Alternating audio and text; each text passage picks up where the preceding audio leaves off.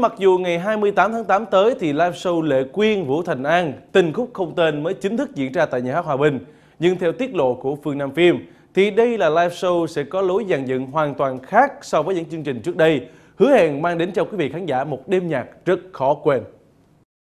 So với Q Show diễn ra 2 năm trước, thì trong live show Tình khúc không quên lần này, khán giả sẽ được nhìn thấy một Lệ Quyên hoàn toàn mới, từ phong cách hát, cách trình diễn, thậm chí đến trang phục. Nếu như trước đây Lệ Quyên vốn quen thuộc với phong cách hát khỏe khoắn, cách lấy hơi mạnh, cộng thêm một chút ủy mị khi hát, thì nay cô thể hiện một cách hát đơn giản, nhẹ nhàng, mềm mại và êm ái.